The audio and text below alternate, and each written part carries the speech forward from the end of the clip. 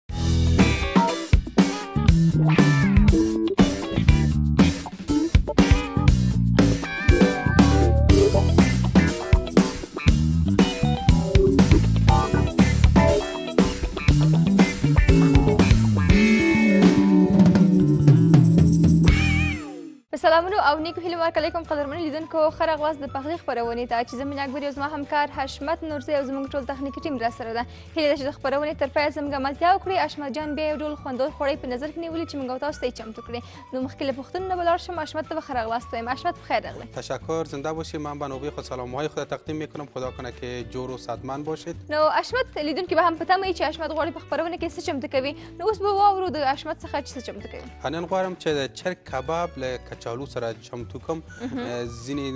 لیدونکو فرمایش راکړی و چې د چرګ کباب باید کله چې په داش کې جوړوو یا کم کسان چې ستونزه لري یا چارې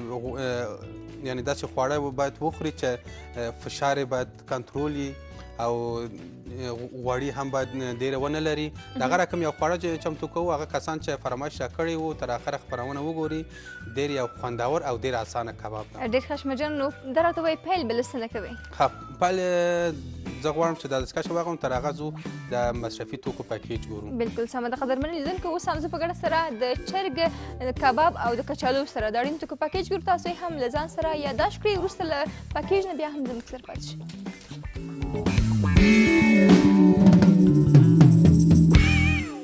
د چرګ غوښې کباب د کچالو سره مصرفي توکو پکیج د چرګ غوښه، کچالو، مستې، تازه مرچ، وچه دڼیا، سره مرچ، کورکمن، مالګه، تور مرچ او د زیتون غوړي.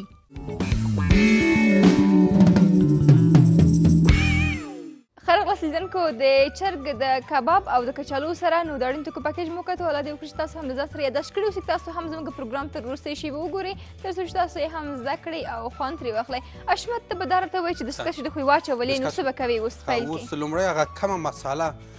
چې اړینه ده هغه باید جوړه کړم یا مساله ورته وایو یا د هغه یو ساز غونډه جوړیږي چې هغه ته ډیر اړین ده چې هغه باید جوړه کړو د چرک ور سره اخته کو نور یو کاشوک می پکار ده ها دی کی لومړی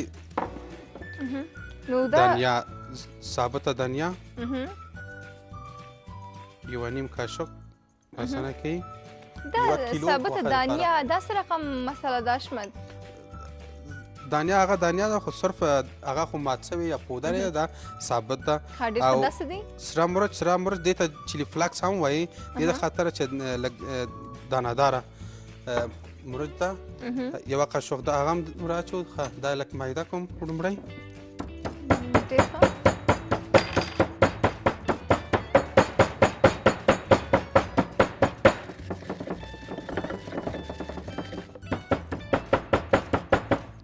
دومره بسنه کی دومره چې یعنی بیخی پودر په شکل جوړه نسی یعنی دا رقم دانه داره باید پاته سی کله چې اوان کې میده کوی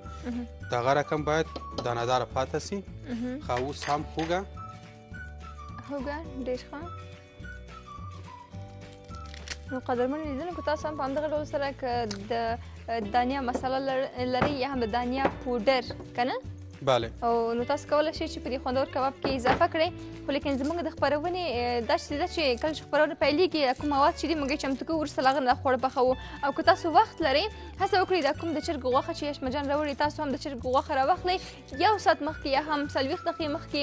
غوښه چې ده د هوږي سره همدارنګه د مرچ او مسالو سره یې په سمه توګه باندې اخته کړئ وروسته له هغه نه خوندور د چرګ د غوښې کباب ترې جوړ کړئ نو بیا به ښه وي نو ځکه چې زموږ وخت کم ده موږ یې په همدغه دقه اخلو د مرچو مسالو سره یې مکسوو ګډوي وروسته له هغه نه خوندور کباب چمتو کوو حالا یک دو دانه مرچ هم امروز اضافه میکنیم ډېر ښه حشمت نو دا کوم ډول کباب چې ته چمتو کوې د همدغه دو دانې مرچ ورته کفایت کوي یو کیلو د پاره دومره کفایت کې چې څوک غواړي چې لک تریخ سي بیا خیر د دوه دانې نه درې دانې څلور دانې یعنی دوه دانې په نورماله اندازه ده ډېر ښه حشمت نو دا کوم کباب چې ته چمتو کوې د چرګ د غوښې نه د کچالو سره نو که وغواړو چې د چرګ غوښه ونه اوسي همدارنګه د غټ مال غوښه اوسي هم د پسه یا هم د خوسي غوښه اوسي نو په هغه صورت کې په همدغه طریقه باندې باید چمتو کړو که نه طریقه یې فرق کوي په همدا څوک چې غواړي چې د هغه غوښه نه استفاده وکړي په همدا شکل چمتو یې کړي نو بیا هغه کې لږ تندریزار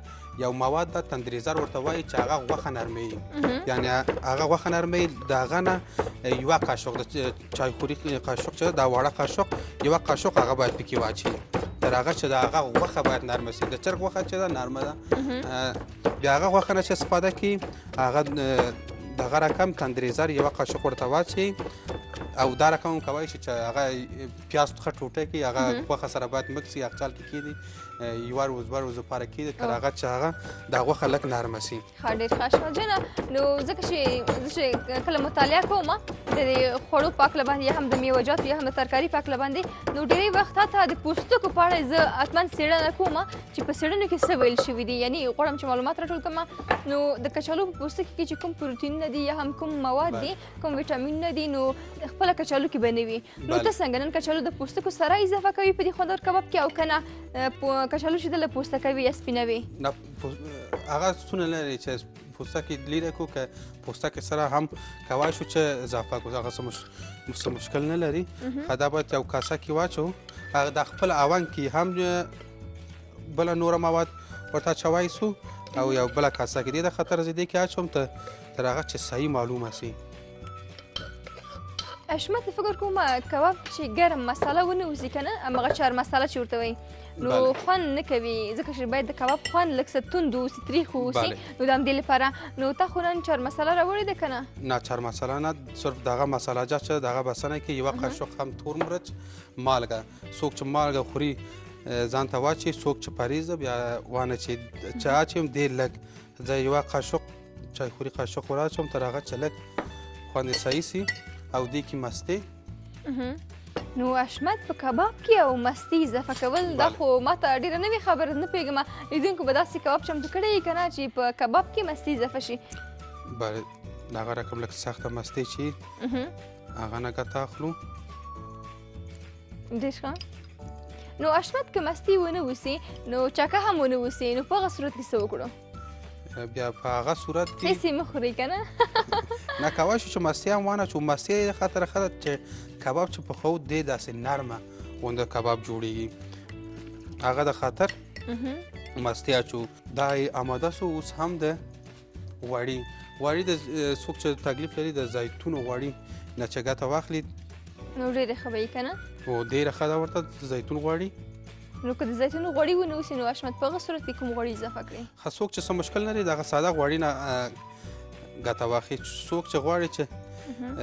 د زیتون غوړي چې ولري خو دا هم خوندور کېږي دا سره او هم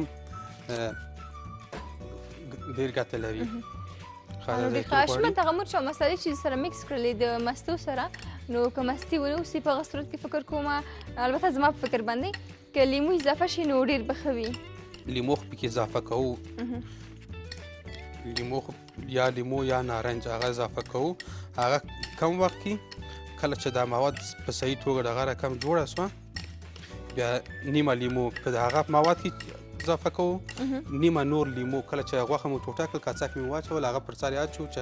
هغه د لیمو او هغه ځان ته جذب کی بیا نور دغه مواد پر سر اچو او ځینې کسان چې غواړي چې دا کباب لګ رنګ خایسته سی یعنی لګ د رنګ د خوړو رنګ چې دا دغه د ژړ رنګ نه استفاده وکړي نو ډیر ښه نو حشمت که مثلا هغه د خوړو هغه زیړ رنګ ونه اوسي په هغه صورت کې د زرچوبي څخه که استفاده وکړي فکر کوم بیا هم ښه به وي زرچوبه نه هم ګټه اخیستی سي هو زرچوبه یا کورکمن چې ورته وایي ډېر ښه نو قدرمن لیدونکو هیله ده چې زموږ پروګرام د پیل نه تر پایه وګورئ تر څو چې تاسو هم دا خوندور د چرګ کباب د چرګ د غوښې کباب د کچالو سره تاسو یې هم زده کړئ او چمتو یې کړئ نو اشمت جان چې دا بوخ ده کار کوي نو لیمو یې هم اضافه کړل تاسو هڅه وکړئ چې په همدې موسم کې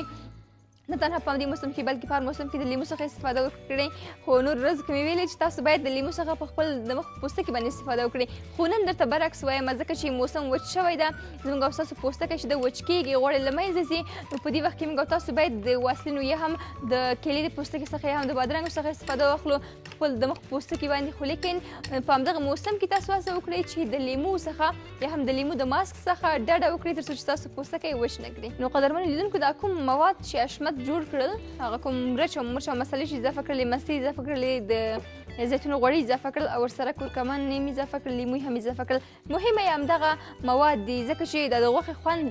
جوړوي که نه سموي که همداسې غوښه واوسي او موږ تاسو همدغسې په همدغه طریقه باندې کباب چمتو کړو خو بیا به هم هغومره مزه ونه کړي لکه همدغه مساله چې کوم مواد چې اشرف جوړ کړي غواړي د غوښې سره یې اخته کړي نو دا به ډېره ښه وي چې تاسو یې هم چمتو کړئ او وروسته له هغه نه زحمت خو ما د اقل عیف لاړ نه شي دومره زحمت چې وباسئ نو خواړه هم خوندور اوسي قدرمن لیدونکو زه یوې لنډې شاندامي ته وروسته له دمې نه بیا هم زموږ سره پاتې شئ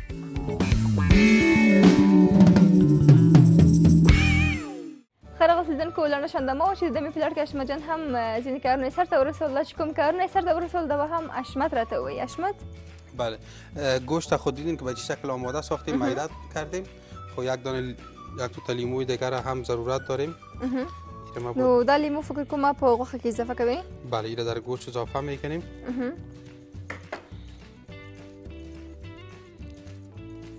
نو قدرمن لیدونکو دا کوم لیمو چې اضافه کوي د دې لپاره چې دا د غوښې خوند لا ښه شي او په غوښه کې چې کوم خامبوی دی هغه هم له منځه لاړ شي نو تاسو هم هڅه وکړئ چې لیمو یا هم نارنج هرومرو اضافه کړئ دا باید هم اضافه کو په غوښه کې غوښه باید دغه رقم اخته سي دا مواد سره یا د اساس سره دا شاید زموږ یو همکار چې وایي کباب چې دا زما څو ډوله زه ده وتې د حشمت نه پوښتنه وکړي چې د حشمت څو ډوله کباب زه ده نو زه ما وغوښتل چې خپل د همکار پوښتنه ستا پورې راورسوم اوس ته به راته وایې چې ستا څو ډوله کباب زده ده زما خو یو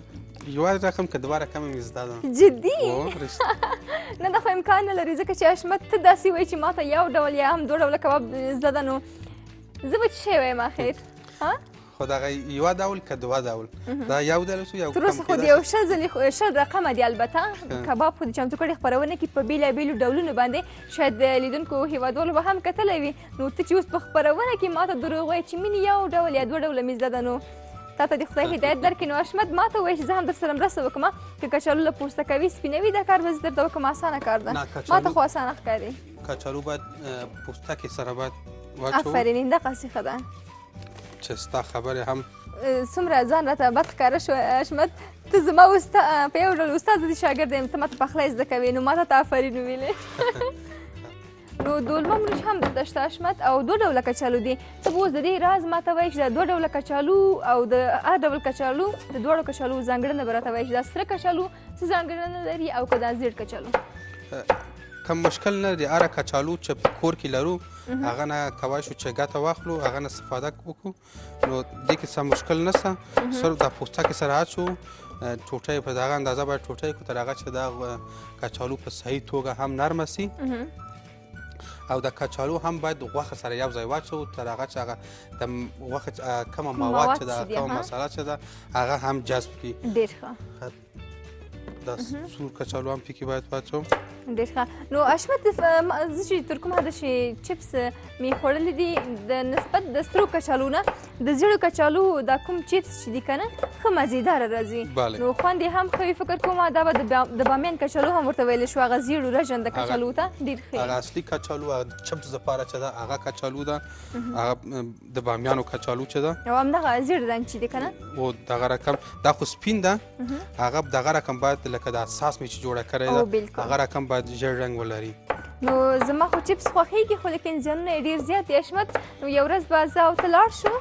یو جلال آباد ته چې نارنج مې ډېر خوښیږي او بل بامیان ته به لاړ شو د چپس لپاره چپس لپاره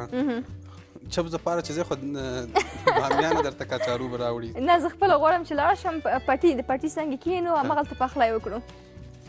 دام ښه خبره ده او په جلال آباد کې فکر کوم هم دغه سي الوګان شته کنه کچالو بله جلال آباد کې هم شته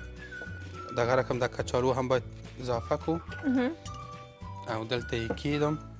او باید دا هم اخته مواد سره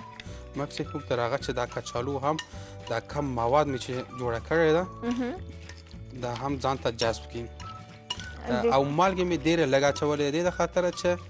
څوک چې غواړي چې فشار لري یا مریضي لري هغه کوای شي چې دغه رقم لږ مالګه پکې واچوي چې څوک چې څه مشکل نه لري څه بیا لږ مالګه نور یوه کاشوک نور هم مالګه دې کې واچوي د دې خاطر چې دا کومه مالګه چې مساله کې سته هغه کچالو ځان ته جذبوي هغه د خاطر یوه قاشق نور هم مالګه پکې واچوي هلکه چې ستا زړه اوس یو قاشق نور هم د مالګې اضافه کړې اشمن نه زه غواړم چې ما ورته نور رژیم ونیسو ته خو رژیم ونیسه نو په ما څه شی کوې چې زه هم رژیم ونیسم ښایي نو وروسته له دې نه باید رژیم ونیسم دا د اشمت هم راباندې انتقاد وکړو اشمت زړه دې راته مات کړو نور نو دغه رقم کله چې غوښه مو چمتو کړل دا یخچال کې یږدو دوه ساعت درې ساعت دپاره دا یږدو تر هغه چې دا غوښه باید ځان ښه په صحیح توګه نرمه کړي کله چې دغه رقم نرمه سوه چمتو سوله نور بیا د داس قالب د داس قالب اخلو داش قالب کې یعنی اشمت دا کباب ته په داش کې چمتو کوي دا په داش کې چمتو کیږي او په داش کې چمتو کیږي هم کوای شو چې غوړی کې سره کو یعنی تاوا کې ډیر لږ غوړی واچو او سره کو هم هغه رقم کوای شو چې چمتو کو ډېر خشمه جنه نو زه داسې په دقت دقت سره درته ګورم ځان کرن چې ته وایي په ګوشه کېږې وایي مینې ته دومره په دقت سره ګورې په ژوند کې خو اشمه ډېر خواړه چمتو کړي ته دومره ورته دقیق شوې نه ځکه چې ما ویلې که مېلمه کور ته راشي نو زموږ استاد په افغانستان کې خو چې وریجې ونه اوسي یا وچه ډوډۍ ورسره ونه اوسي او غوښه ونه اوسي مېلمه وایي زما قدر دې ونه کړو نو زه غواړم چې دا کباب زده کړم کله چې ما ته مېلمه ته راغلل نو زه غواړم د دې کباب نه ورته خوندور همدغسې په همدې ډول سره کباب چمتو کړم تر څو چې هغوی یې نوشجان کړي او قد یې هم وشي نو قدرمنو لیدونکو که څنګه چې تاسو ګورئ غوښه یې په کوم هغه مخصوصه لرګی چې ده که نه غوښه یې پکې یعنې په سمه اندازه باندې مرتبه یې کېښودله او دا چې وروسته کوي تاسو یې هم وګورئ خو لیکن که په یوه لایحه کې مثلا یو د غوښې ټوټه اوسېږي یو هم کچالو اوسي یا هم یو پیاز اوسېږي چې په مرتب شکل سره کېږدو نو ډېره به ښه وي